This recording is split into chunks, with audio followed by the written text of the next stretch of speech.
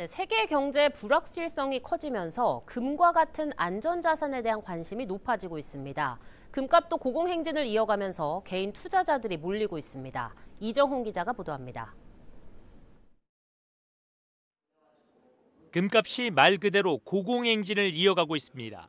한국 금거래소에서 금 한 돈을 살 때 가격은 45만 원을 넘었습니다. 지난해 같은 기간 34만이던 것과 비교하면 30% 이상 올랐습니다.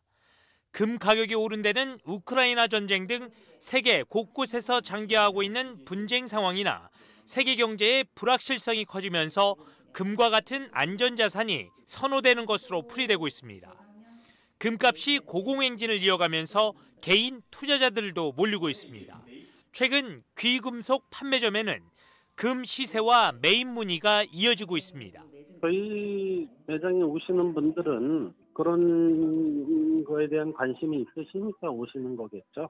한국 거래소에 따르면 지난 6월 말 기준 금 시장의 거래 대금은 8,793억 원으로 전년 같은 기간 6,283억 원보다 40% 증가했습니다.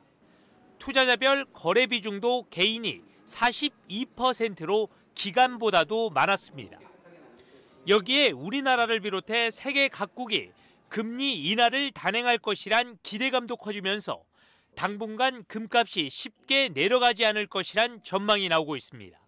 KCTV 뉴스 이정훈입니다.